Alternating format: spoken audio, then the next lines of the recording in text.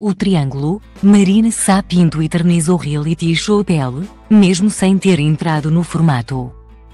Marina Sá Pinto não entrou no novo reality show, O Triângulo, da TVI, mas não esquece a experiência que viveu durante os minutos que esteve no programa, tanto no dia da estreia como na semana que se seguiu. Onde se debateu frente a Inácia, a concorrente escolhida pelo público para entrar no formato.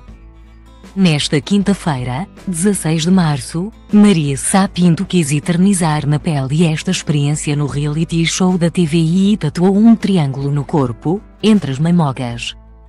Veja tudo na galeria acima. Na semana passada, a empresária do Porto esteve no programa Gocha e surpreendeu tudo e todos com as revelações feitas.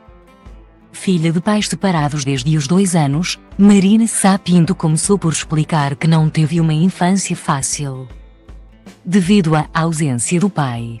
Além disso, a nortenha contou que, aos 15 anos, foi violada quando ainda era virgem.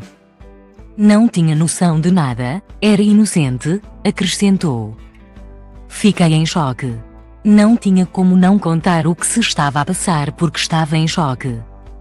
A minha mãe, sem entender, acabou por ser agressiva comigo porque queria que eu falasse e eu não conseguia.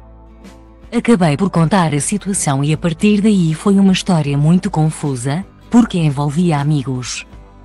Explica, adiantando que este abuso foi feito por um amigo da família. Mafia, paraziți, dragonul maxi ghespe Chimie, rimarul, spike, puia, si șoapă. Grasul nimeni altul, del, vede sau carbo Trei să vă mănânc vers cu vers, card intens. Trei să crezi, crezi ce vrei să crezi. Eu vă respect pe toți, dar focusez pe nivelul următor. De zici că mă bat cu bossul.